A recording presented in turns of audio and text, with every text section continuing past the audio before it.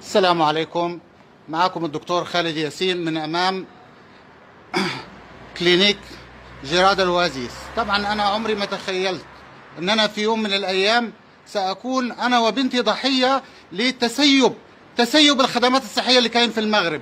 هذه المؤسسات التي لا تعمل بلا رقيب ولا ولا أي رقابة. هذه المؤسسات التي لا تستوفي أدنى معايير الخدمات الصحية.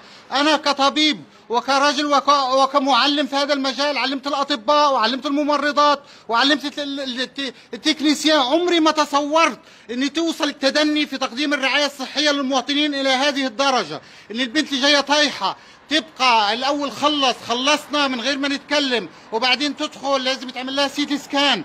ال CT scan يعملوا. آه، technicien.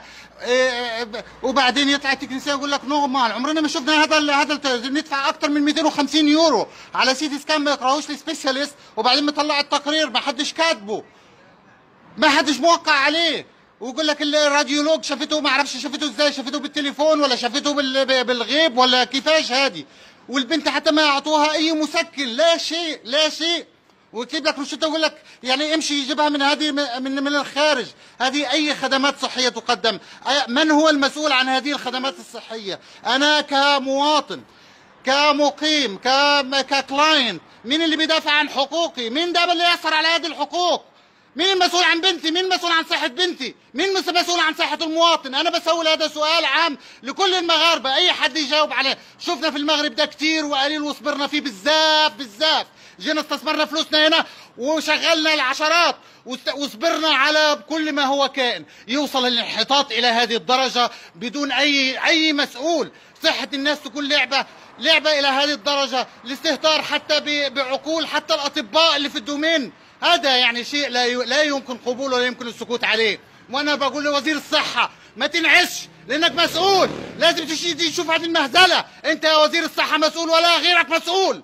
وأنا بقول لك أنا اسمي الدكتور خالد ياسين وده متواجد أمام كلينيك جراد الوازس. لو كنت مسؤول فعلا مسؤول عن صحة الناس وعن المؤسسات اللي بتقدم الخدمات الصحية خاصك ما تنامش خاصك تكون دابا خلال عشر دقائق. هنا تشوف هذا المشكلة. هذه صحة مواطن.